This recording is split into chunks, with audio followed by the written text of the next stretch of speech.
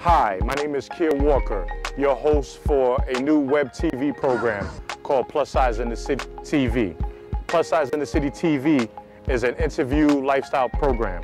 We'll feature guests from, from the music, fashion, literary, and sports world.